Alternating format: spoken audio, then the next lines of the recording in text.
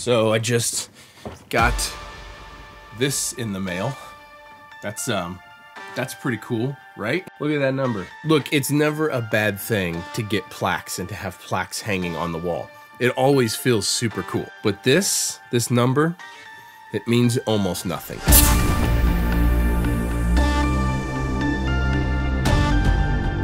Hey everyone, I'm Colt Capperrune. Thank you for stopping by for another video. Now, this plaque came from a platform called Muso AI.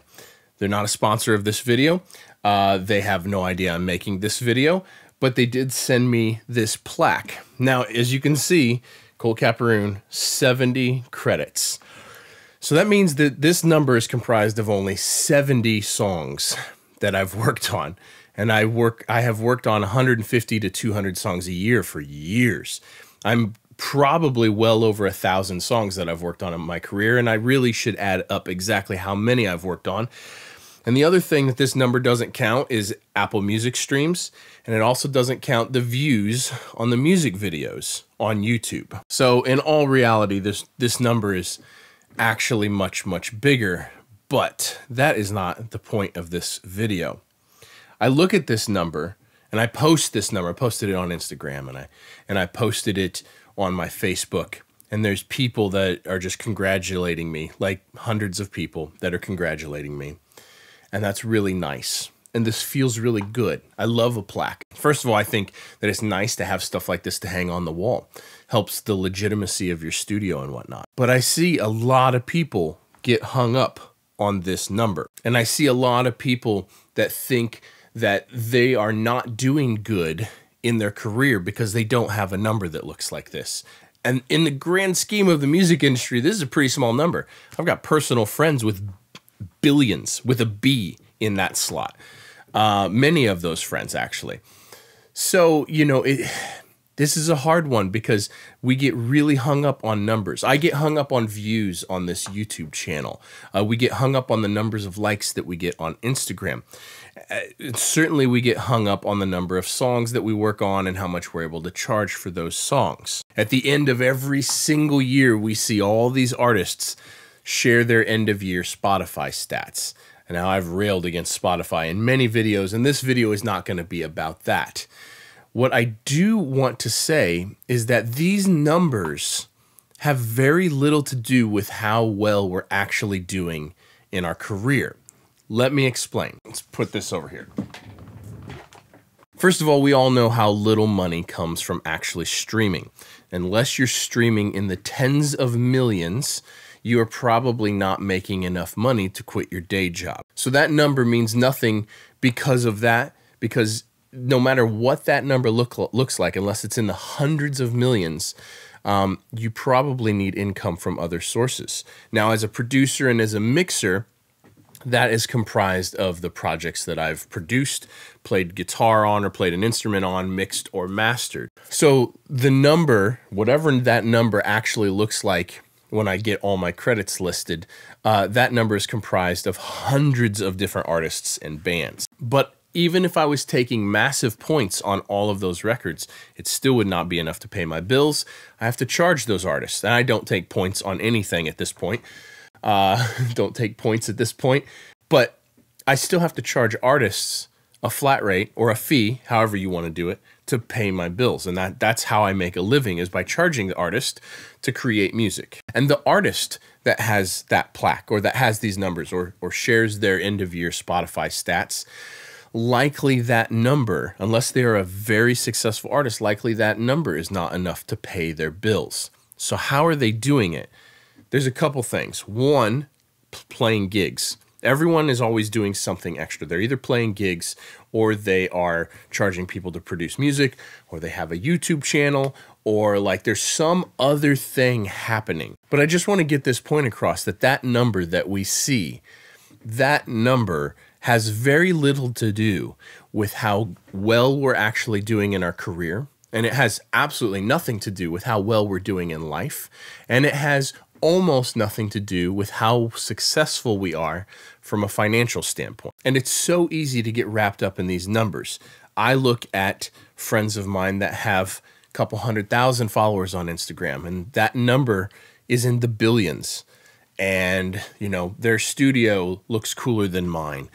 And they drive a nicer car than I drive. And like I I I totally see that stuff and I see it all the time.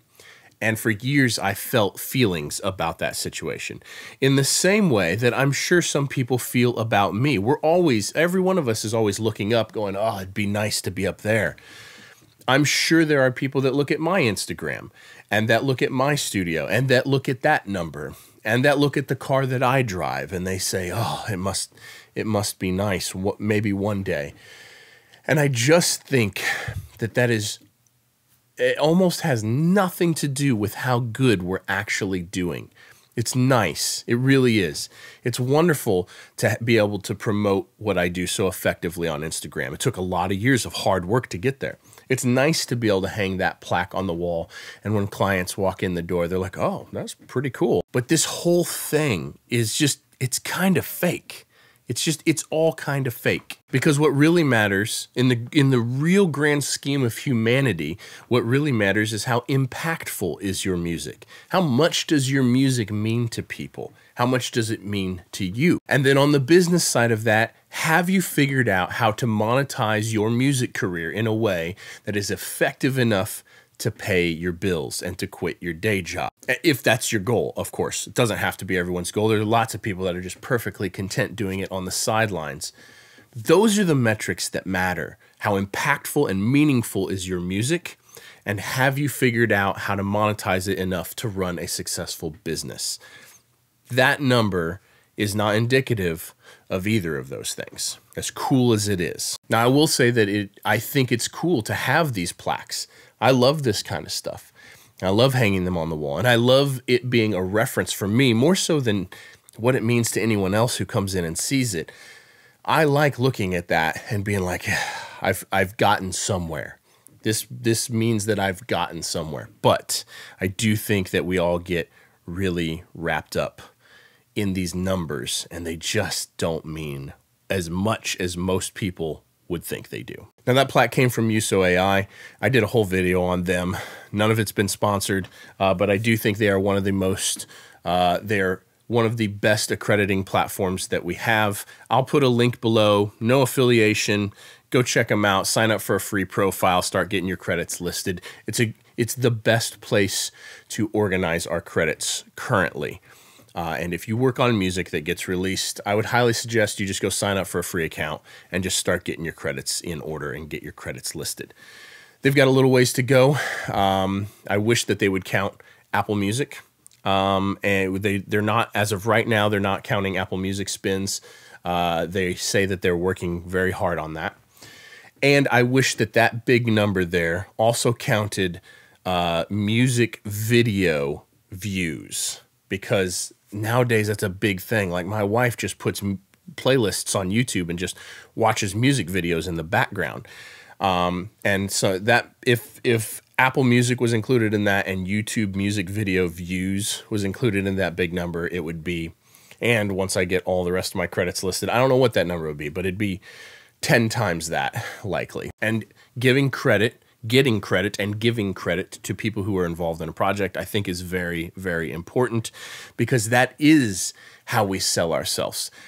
That is like getting formal credit on a song that you worked on is the best way when you send that song to someone else who might be thinking of hiring you. That's the best way to sell your services. So I do think accreditation is very, very important, regardless of the number that is tied to that credit. But I, I just wanted to get that point across that we should not get wrapped up in the numbers.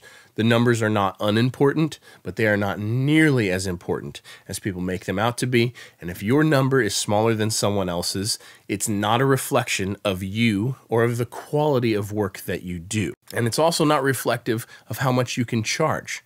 Because the one thing, and I'll say this the one thing that determines how much you can charge is your demand, not your talent quality and talent does not determine what you are capable of charging. The quantity of people that want to hire you determines what you can charge. It's the only metric that matters. Demand determines your worth. I'll put links down below for Muso AI and for a whole bunch of other gear that I use. Those links go to Sweetwater anytime you guys need any piece of musical gear. You can jump on any one of my videos, click on any one of the links, and once you're on the site, you can purchase anything that you need and it costs you nothing extra. It goes a long ways to help support this channel and help me keep help keep making me help me keep making videos like this one. I'm back to screwing it up again. So thank you Sweetwater for sponsoring this video and thank you guys for using those links anytime you need to purchase anything. Drop your comments below. Subscribe if you haven't. Smash that thumbs up button 2024 style. I just had to get some YouTuberness in there. All right. We'll see you guys in the next one. Peace.